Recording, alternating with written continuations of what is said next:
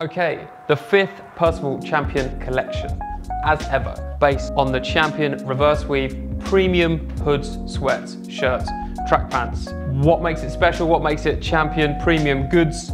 You have the elasticated gusset down the side. That means if you wash it, it's gonna shrink upwards, not inwards, and that's something they patented in 1954. The inside, super soft, has the peached cotton interior on the 400 gram sweat, so everything 400 gram, tees 220, but we'll get to that. So we've got some new embroidery applications, see blue tip, embroidered in London. But as a move on this time around, we've got the patches. This is a bit new for us. The vehicle for the idea has been based on Soho. The store has always been based in Soho, the original store, pop-ups, and the Marshall Street store now.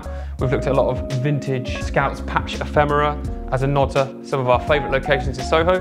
There's some co-ords in there, you've got some patch co-ords, and you've got the classic elasticated cuff. We know this well. What we think is a nice move on from us and Champion is having the straight leg, non-elasticated hem. So kind of just wear it as a casual trouser and that can really clean up a look, but also be a bit of loungewear at the same time.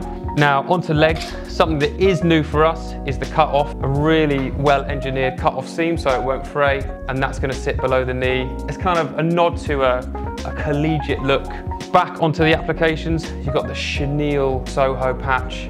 This is one of our headline pieces, chenille being uh, two tensions of thread and you get the sort of toweling effect. Two shapes of tee this time. You've got the regular fit that you'll know well, but keeping it a bit more contemporary is the oversized tee, which is still 200 gram, but it'll have a drop shoulder, a wider block on the body, and slightly shorter. You see there the nice bouquet embroidery, and let's finish on something really nice.